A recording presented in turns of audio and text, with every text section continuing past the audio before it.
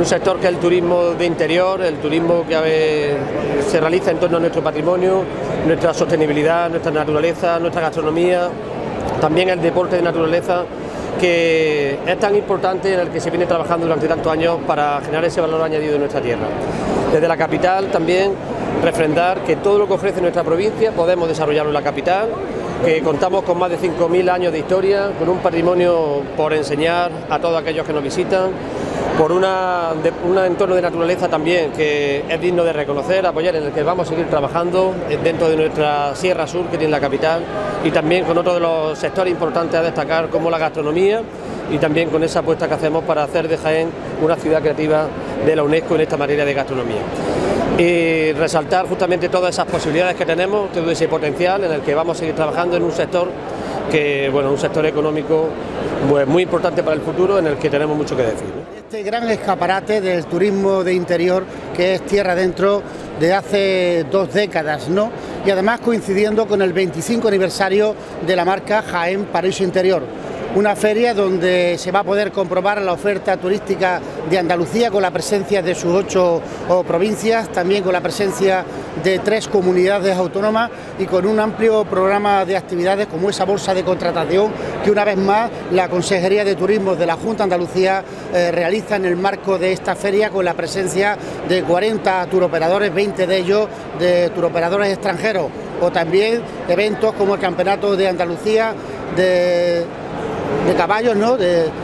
que se va a celebrar de pura raza española, que se va a celebrar a lo largo de estos días en esta, en esta feria, ¿no? Eh, contentos desde la Diputación Provincial porque Jaén siga siendo ese referente desde el punto de vista turístico y además en un año importante para el turismo en general en nuestro país, pero por supuesto para la provincia de Jaén, donde los datos que conocemos hasta este momento, hasta el mes de agosto, pues nos superamos los datos de la prepandemia y estamos muy cerca de conseguir tanto el número de pernoctaciones como el número de, de visitantes, los datos previos a la crisis económica del año 2008. Así que agradecer a todas las administraciones implicadas en este gran evento, a los ayuntamientos, especialmente al Ayuntamiento de Jaén,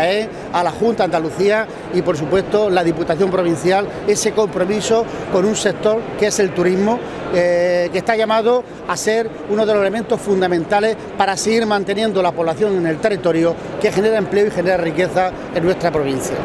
saliente a Jaén, a la provincia y a la capital, como el, epicentro de las políticas de sostenibilidad asociadas al turismo. Es para nosotros desde la Junta de Andalucía un placer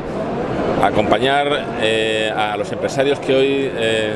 exponen aquí sus novedades y su oferta, pero sobre todo poner de manifiesto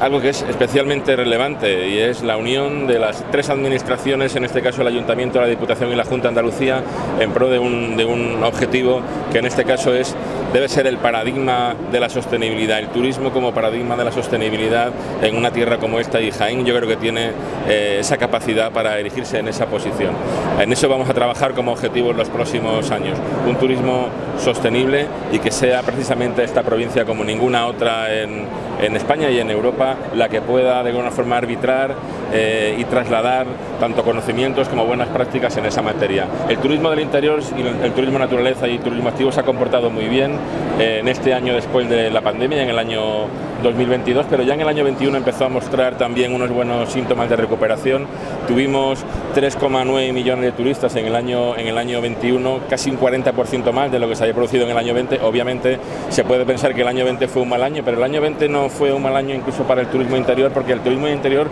producía y generaba espacios abiertos donde precisamente eh, la, COVID no, no, no, tenía esas limitaciones que en el resto de las actividades turísticas, tanto el vacacional como el turismo cultural en ciudades. Aún así, como digo, un incremento muy sustancial en el año 21 del 40%, pero también en el año 22 están teniendo las primeras cifras. Del de enero a agosto hemos crecido eh, un 4,4%, perdón, 4,4 millones de pernoctaciones eh, y aproximadamente 2,3 millones de, turistas nos han visitado al, turismo, a, lo que es el, segmento del turismo del interior y turismo de naturaleza. Sin duda estamos muy cerca del mejor año de la serie, que fue el año 2019, aproximadamente entre el 85 y el 87% de las cifras de aquel año.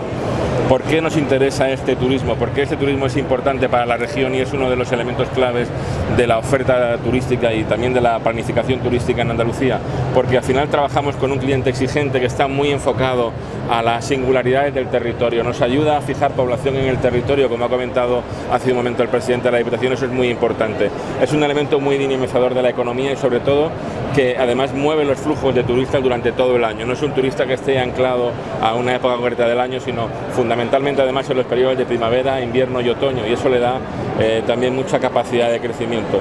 Y lo más importante es que, como digo, es un turista que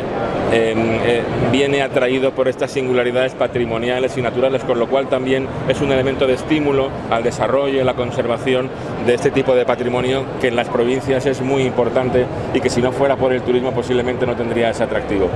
Estamos realmente muy, muy contentos de participar y de seguir dando nuestro apoyo desde la Junta de Andalucía y creo que hay que poner de relevancia el elemento fundamental de la feria, que es la bolsa de comercialización internacional, donde prácticamente un medio centenar de, agentes nacionales e internacionales van a tener la posibilidad de reunirse y de gestionar negocio con más de 90 empresarios de, la zona. Eh, creo que es la contribución principal. Esperamos un, gran número de, reuniones y, por supuesto, unas buenas, unas buenas cifras de negocio.